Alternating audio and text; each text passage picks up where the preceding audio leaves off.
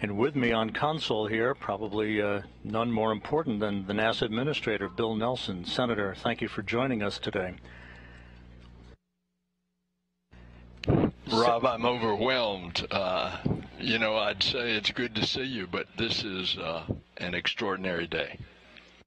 I remember years ago when I uh, saw you return on uh, Columbia from uh, your mission into space, and it all conjures up a tremendous amount of memories. Orion back on Earth, having circumnavigated the moon, having survived a critical test of its heat shield, you, I think you have to be hesitant to celebrate and throw confetti a little bit too early, but uh, it certainly uh, is an important achievement, is it not? Uh, it's historic because we are now going back into space, into deep space, with a new generation. Uh, Kennedy uh, just uh, stunned everybody with the Apollo generation and said that we were going to achieve what we thought was impossible uh, and did that in a short period of time. And uh, many things have happened since. But we knew we were going back, but we knew we were going back to the moon just to continue to explore outward into the cosmos. And so that's why this is a defining day. Uh, it is one that marks uh, new technology, a whole new breed of astronaut, uh, a a vision for the future that captures the DNA of particularly Americans, although we do this as an international venture.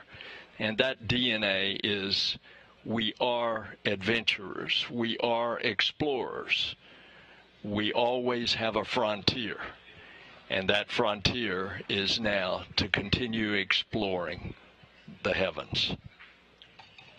We had to wait a while for Artemis to uh, finally get to the point where the Space Launch System uh, got us underway back on November 16th. But once it did, these engineers and the other members of the uh, team's front room, back room, they've been pretty giddy over the amount of data that they've required and how this vehicle appears to have exceeded its expectations in its performance. The whole vehicle, uh, the rocket, uh, the European uh, participation in the support module, uh, the uh, spacecraft itself, Orion, uh, performing so well that they added a lot of tests. And lo and behold, we're going to be we're going to be up to our ears in data thankfully. And of course, today the the two main things that had to happen was that uh, that heat shield had to work, and it did beautifully, where they can skip off the atmosphere and bleed that speed down from 25,000 miles an hour. And uh, and then uh, the parachutes had to work, and they did it as well. You know, the engineering, the design of this mission all the work that will go into the next flight when a crew is on board, right, to orbit the moon. Uh, what does this say about NASA and the international partner cooperation and the partnership that uh, ultimately takes us not only to the moon but beyond?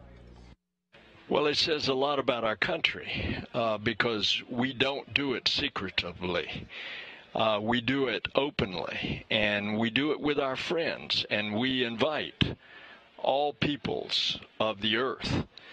Uh, and uh, we are doing it also with commercial partners.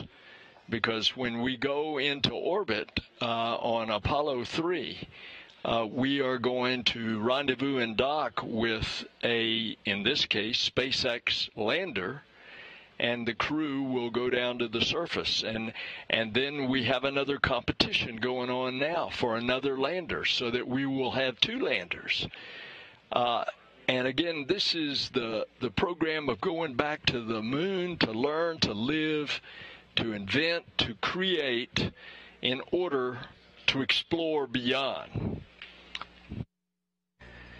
50 years ago today Gene Cernan Jack Schmitt landed their lunar module Challenger on Taurus Littrow, the final lunar landing, it only seems fitting half a century later to the day Orion back home.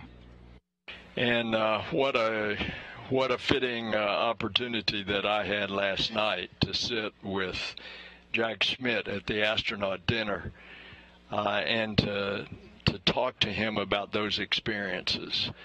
Uh, 50 years, it's a long time, but uh, look what we have done in the meantime. The space shuttle, we built the International Space Station, we brought in commercial partners. We now go to and from regularly the International Space Station with cargo and crew. Uh, and uh, here we go. Uh, we've got scouts going to the moon that are commercial scouts that land, that take NASA instruments and scientific instruments in preparing us for the landings of our astronauts. And so it's it's a new day. A new day has dawned. Um, an Artemis generation is taking us there.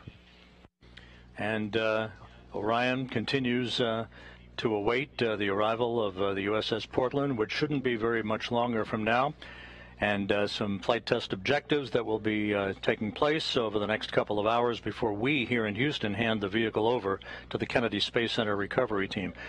NASA Administrator Bill Nelson, pleasure to see you today, and uh, thank you so much for being with us. What a day. Oh, it is my great privilege.